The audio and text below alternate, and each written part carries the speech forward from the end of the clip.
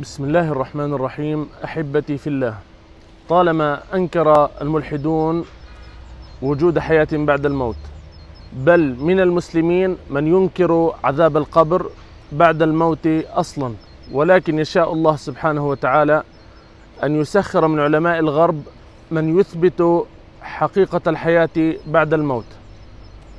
حقيقة العذاب بعد الموت أيضا.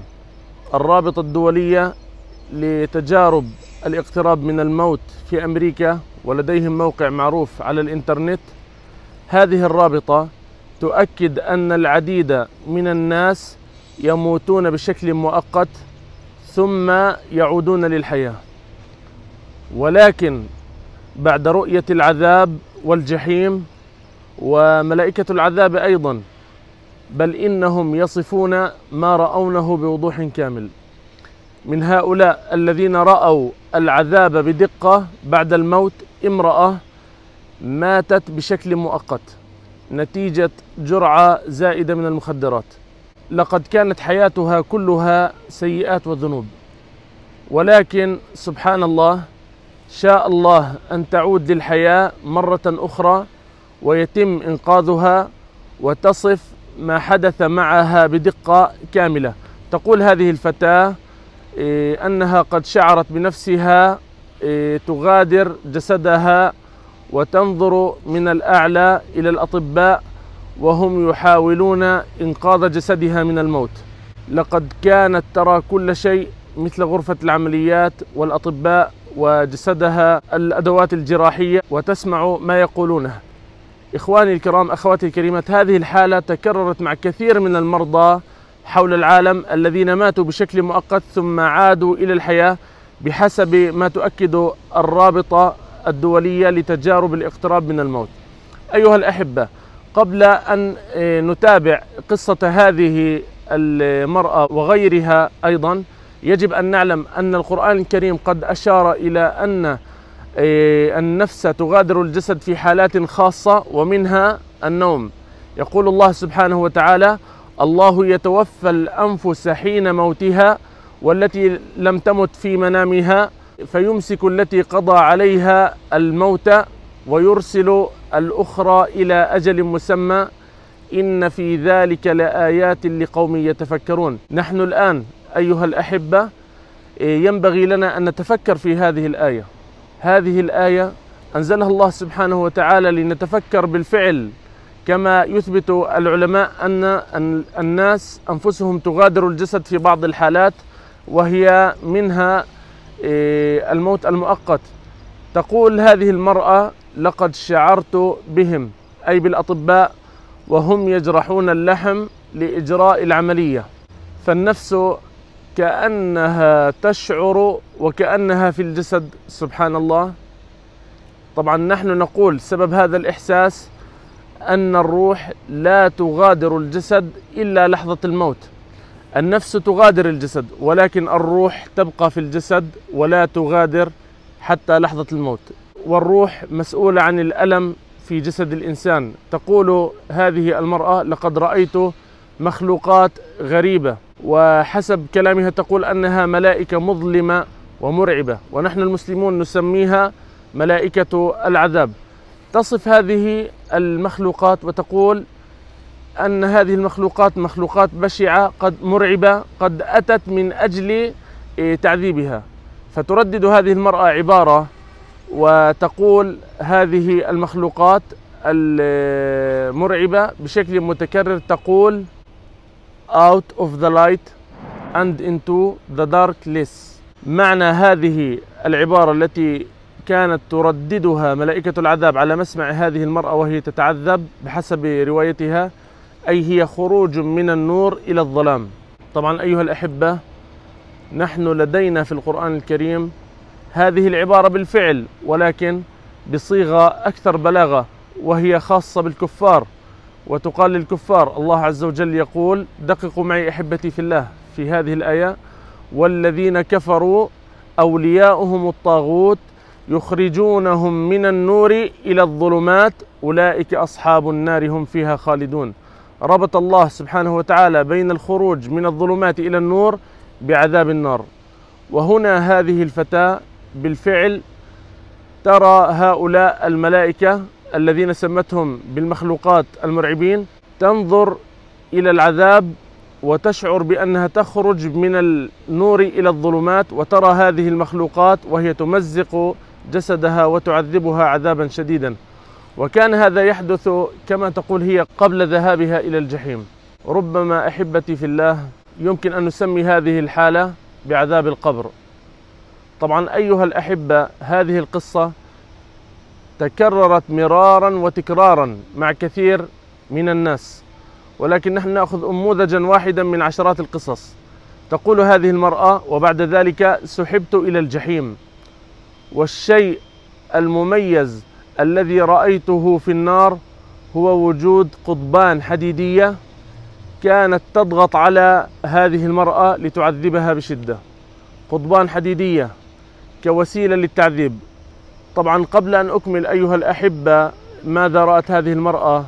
أنا أتذكر قول الله سبحانه وتعالى عن عذاب في جهنم. وسيلة من وسائل العذاب في جهنم. الله سبحانه وتعالى يقول ولهم مقامع من حديد. وهذا في ذكر جهنم. يقال في حق الكفار فسبحان الله كيف عرفت هذه المرأة بوجود الحديد في نار جهنم كوسيلة للعذاب؟ هذه الفتاة غير مسلمة ولم تقرأ القرآن الكريم.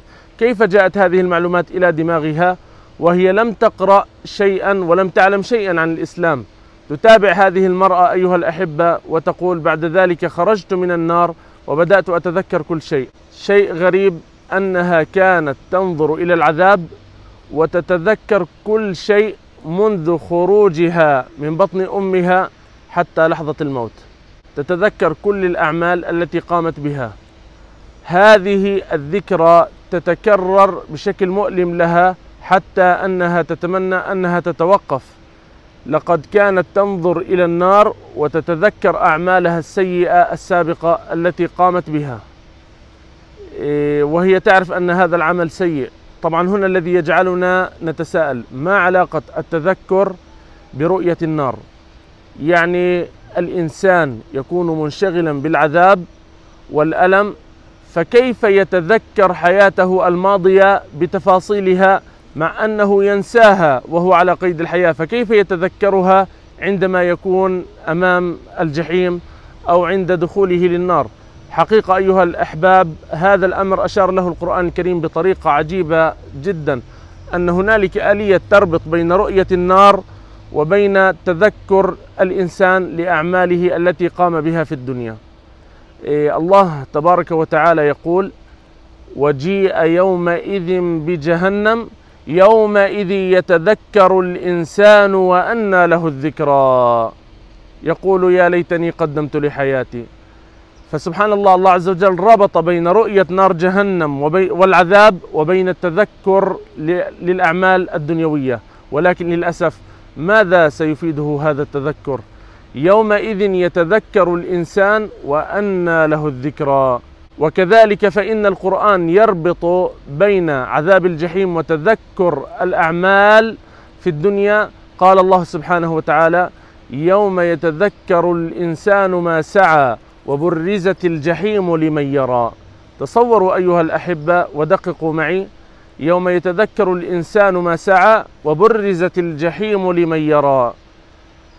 هناك عالم متخصص بهذه الحالات اسمه الدكتور سام بارنيا ذكرناه في إحدى الحلقات السابقة يقول أن معظم الذين يموتون بشكل مؤقت تخرج أنفسهم من أجسادهم فتنظر إلى الأطباء وهو يقومون بالعمل الجراحي أو محاولة الإسعاف أما كما يقول الدكتور بارنيا أما رؤية العذاب بعد الموت فهذه حالة تتكرر أيضا ولدينا قصص متعددة عن ذلك. الغريب أيها الأحبة أن هذه المرأة وبعد رحلة العذاب وعذاب القبر وعذاب جهنم غادرت جهنم وعادت لترى الأطباء من جديد. وتصف ما رأته أيضا إيه، حيث أنها شاهدت الجسد من بعيد ثم عادت ودخلت إلى الجسد وفقدت الوعي واستيقظت بعد ساعات وهي تعتقد جازمة أنها رأت ما يسمى بعذاب القبر ورأت الآخرة ورأت عذاب النار أيها الأحبة وإن كان هذا حلما قويا أو رؤيا قوية أقول شاء الله سبحانه وتعالى أن يرى بعض الناس هذه الحقائق لتكون دليلا على وجود حياة بعد الموت ودليلا على وجود العذاب بعد الموت. وإن كنا نقول أننا نؤمن بذلك دون هذه الأحداث ونقول الشيء الذي يجعلنا في حيرة كيف لامرأة غير مسلمة؟ أن تعرف بأن هنالك ملائكة بحسب وصفها قالت عنهم ملائكة مظلمة مرعبة. كيف للإنسان أن يتذكر كل شيء بعد أن يرى جهنم أن يتذكر كل ما مضى؟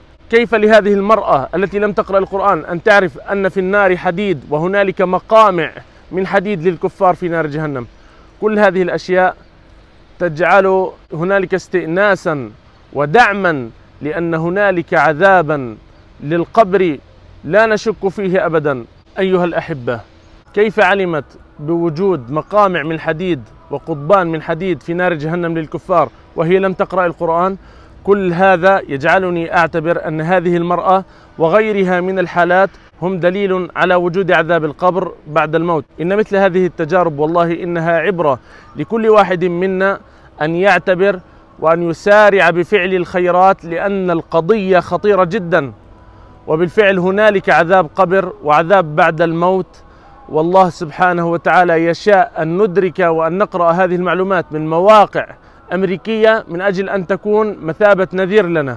ونحن نؤمن بوجود عذاب القبر وأنه حاصل وأن القبر حفرة من حفر النيران أو روضة من رياض الجنة. ونسأل الله سبحانه وتعالى أن يجعلنا من الذين قال فيهم الذين تتوفاهم الملائكة طيبين يقولون سلام عليكم ادخلوا الجنة بما كنتم تعملون وأن يجعل قبورنا روضة من رياض الجنة وأن يوسع لنا في قبورنا على مد أبصارنا. اللهم اغفر لنا ولآبائنا ولمشايخنا وعلمائنا وأمهاتنا ومن له حق علينا ممن سبقنا إليك بالإيمان. اللهم اغفر للمسلمين والمسلمات والمؤمنين والمؤمنات الأحياء منهم والأموات وصل اللهم وسلم وبارك على سيدنا محمد وعلى آله وصحبه أجمعين وآخر دعوانا أن الحمد لله رب العالمين.